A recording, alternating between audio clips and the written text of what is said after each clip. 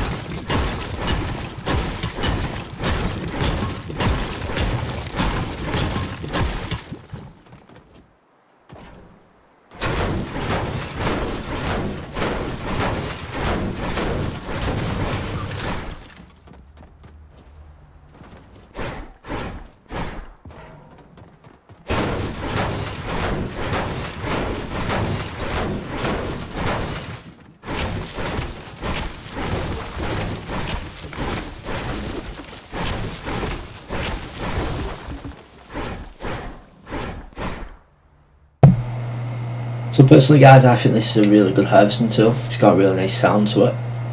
But guys what do you think? Is it good or is it bad? Personally I think it's got a really good design to it. it looks very nice and I think it'll go with the secret skin we're getting this time.